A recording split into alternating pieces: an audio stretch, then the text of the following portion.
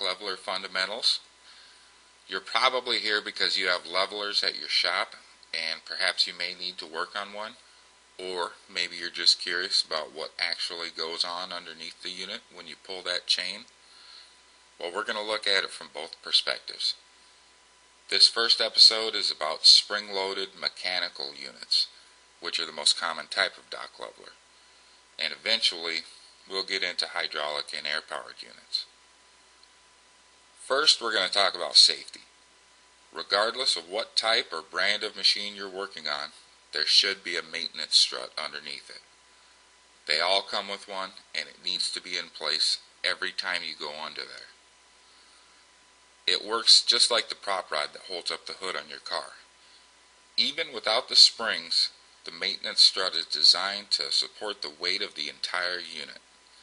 It'll also keep a coworker who doesn't realize you're under there from closing it on you.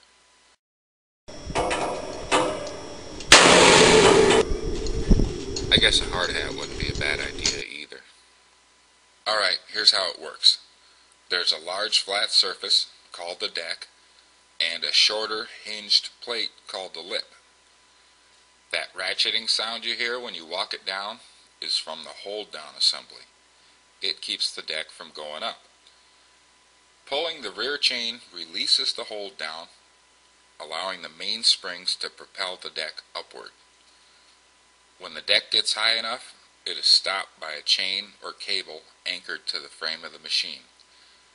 The other end of that chain isn't attached to the deck, it's attached to a lever welded to the lip.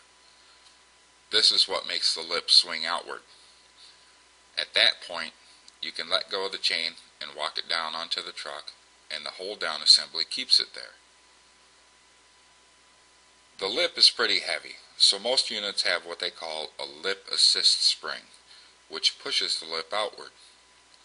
This spring isn't quite strong enough to extend the lip, it just counterbalances some of the weight so the chain doesn't have to pull so hard on the lever to make the lip extend. It's the momentum of the deck traveling upward that makes the lip extend. The lip spring just makes it easier for the cable and lever to do its job. If your lip doesn't extend all the way, you most likely will need to add tension to the mainsprings and leave the lip spring alone. If you do decide to adjust the lip spring, keep in mind you'll need to take big swings at it to get any noticeable improvement. If the lip spring is too tight, the lip won't want to drop, or it may not drop all the way.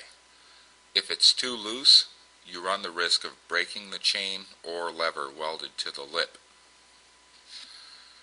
To slow down the rate at which the lip falls, there is a shock absorber attached to it. This gives the operator time to lower the leveler onto the truck before the lip falls. These shocks come in all different shapes and sizes, but they all work similar to each other. They are very difficult to compress, but they extend easily so as not to interfere with the outswing of the lip. If your lip falls too fast, you may need to replace the shocks. Excessive fluid leakage is a good indicator of worn shocks.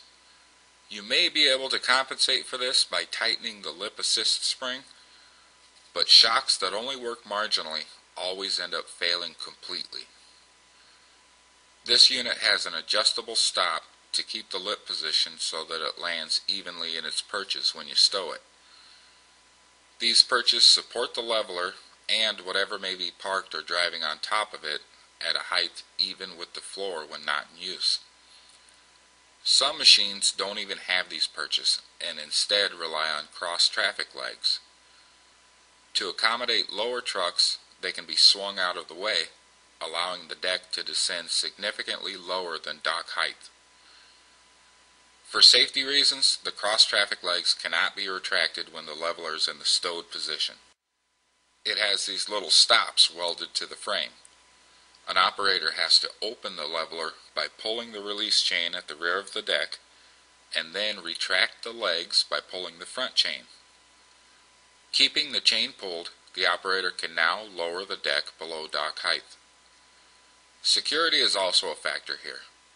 When the dock door is shut and the lip is resting in its perches, there's no way for burglars to lower the leveler and crawl under the door. For units without the perches, the cross traffic legs keep the leveler from going below dock height, and those stops won't allow the legs to be retracted without first raising the leveler. Now on to the hold down assembly, which, because of its complexity, can be the most troublesome part of a mechanical leveler. The stationary end of the hold down attaches to the frame of the leveler with a pin. The moving portion of it attaches to the bottom side of the deck.